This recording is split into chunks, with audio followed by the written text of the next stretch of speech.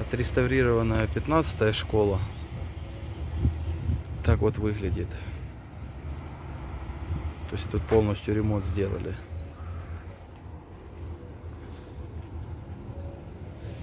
Шикарная школа. Вот школа номер 15. Учебный процесс начался в школе. Потихонечку люди начинают пополнять ряды классов. Вот. Так, хочу обзорную вам показать, какая школа. Это, я считаю, что по самым последним технологиям школу отреставрировали. Да, здание построено, конечно же, Советским Союзом. Основное, а полностью реставрация прошла вот сейчас. Вот, в этом году. Тут абсолютно самые технологии новые. И даже если там перебои со светом, включается аварийное светоосвещение, интерактивные доски. Такая вот территория. Покажу. Такая территория. Вот тут березки. Вот такая площадка. Так внутри он выглядит само здание. Дорога на ЖД вокзал. Сейчас покажем. Это сектор здесь тоже. Проезжаем. Рынок свой. Рынок, да, вокзальный рынок.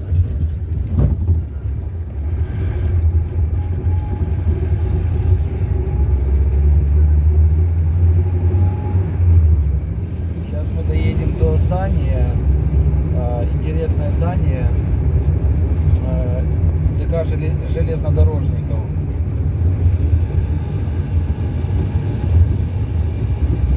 Его недавно отреставрировали тоже.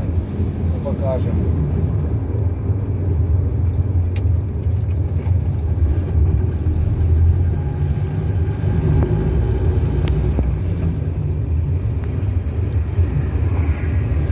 Сейчас заросло все, тут газончик был. Так, ну что, покажем вам самое старое культурное здание у нас. Это ДК железнодорожников. Было построено в 1929 году. Такое очень древнее, хорошее здание. И хорошо, что сохранили все вот лепку эту, сохранили на колоннах. Так его отреставрировали. Вот. Внутри все то же самое, все туалеты, все, а, все абсолютно залы, там два зала, один огромный зал с балконами даже, очень классный такой зал, его тоже полностью отреставрирован, он был очень убитый, здание было что снаружи, что внутри, все в очень плачевном состоянии. 24 школа, тоже возле ЖД вокзала, она тоже отреставрирована. Выглядит хорошо, ухоженная школа. Это все реставрация, да, это не постройка самого нуля. У нас есть здания, э, которые построены с нуля, но не образовательные, а культурного там для отдыха. Это там ледовая арена, бассейн, это построили все с самого нуля. А эта школа, вот она тоже отреставрирована. Находится возле ЖД вокзала. Вот так она выглядит.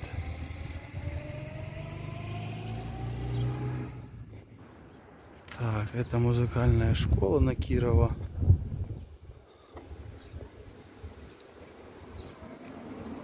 Она была полностью отреставрирована недавно. Ну, конечно, построена еще при советском вот, правлении. Такая вот школа.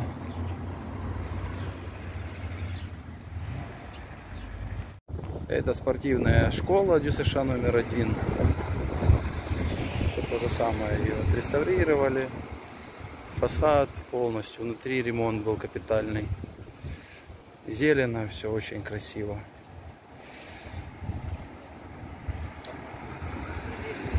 Так и деревья ухожены, в принципе.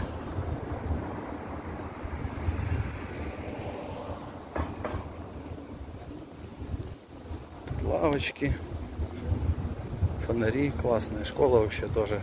Не один раз был тут и на соревнованиях в этой школе. И участвовали даже в проведении соревнований. Очень хорошая школа. Все полностью. И инвентарь сюда новый покупали. Это поликлиника детская на Фролова. Но к ней еще очередь не пришла, хотя были уже запланированные реставрация полностью. Сколько я знаю в бюджете.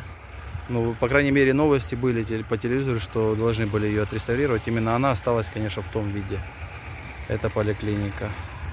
Показать вам роддом наш. Вот здесь вот так он выглядит. Вывеска роддома. Малятка называется. Тоже отреставрированное здание. Оно было все описано. Раньше была традиция там э, на роддоме писать там фамилии, имя там, кто рождался. Вот. Сейчас, по-моему, сделали там доску. Я не видел ее. Когда мы были еще в роддоме, моя жена рожала, то э, еще было старое здание, то есть не отреставрированное. Вот. Сейчас говорят, есть доска там, где можно порисовать, кто хочет, там, у кого есть настроение, то там можно порисовать. Вот так вот выглядит здание роддома. Отреставрировано примально.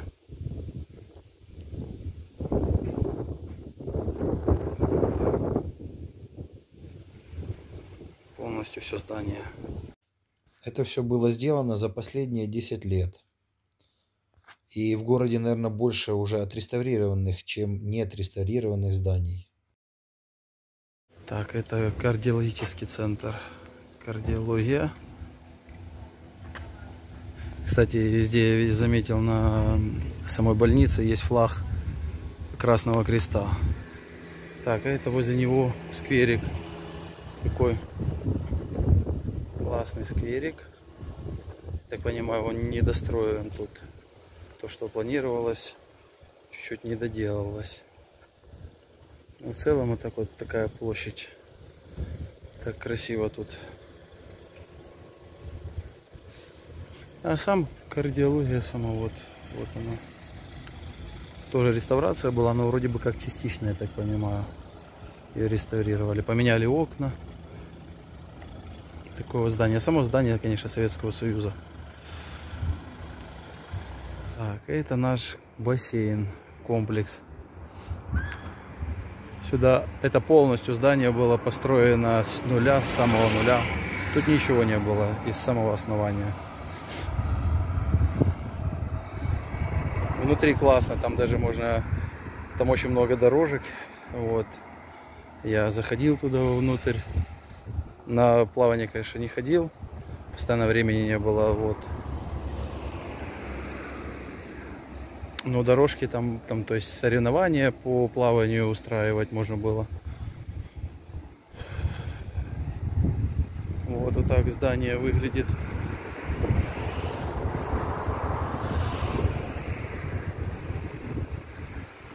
Это новое полностью с нуля здание. Обзорка. Обзор вам этого здания. Классный бассейн. Конечно, мы в городе, честно говоря, давно хотели, чтобы был бассейн. Единственное, конечно, скажу так, по ценам чуть-чуть кусалось. Ребята, вот и завершилась обзорная по зданиям нашего города. Это не весь перечень, но то, что смог я и что интересно, я вам показал. А, напишите в комментариях, понравилась вам такая тема или нет. И спасибо за просмотр.